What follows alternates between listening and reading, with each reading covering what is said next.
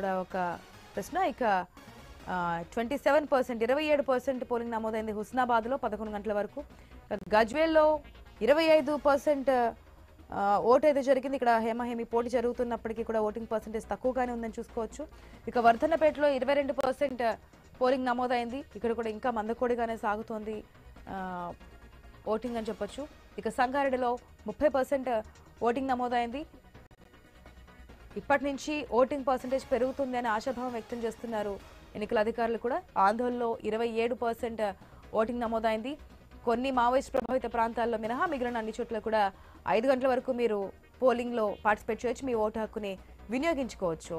మూదోల్లో ఇరవై ఆరు percent polling నమోదైంది. హుజురాబాద్లో ఇరవై మూడు పర్సెంట్ ఓటింగ్ అనేది మనకి కనిపిస్తుంది. హుజురాబాద్లో కూడా పోటా పోటీ అభ్యర్థులు ఉన్నారు. అక్కడ కూడా పెద్ద మెజార్టీ అయితే కనిపించట్లేదు. పోలింగ్ పర్సంటేజ్ ఎక్కువగా అయితే కనిపించట్లేదు. మేడ్చల్లో పదిహేను పర్సెంట్ ఓటింగ్ నమోదైంది. మల్కాజ్గిరిలో పద్నాలుగు పర్సెంట్ ఓటింగ్ నమోదైంది. సో మేడ్చల్ మల్కాజ్గిరిలో అయితే చాలా మందకోడిగా సాగుతుందని చెప్పొచ్చు. పోలింగ్ పర్సెంటేజ్ అనేది ఓటర్లు ఇంకా అనుకున్న స్థాయిలో పోలింగ్ కేంద్రాలకైతే చేరుకోవట్లేదు.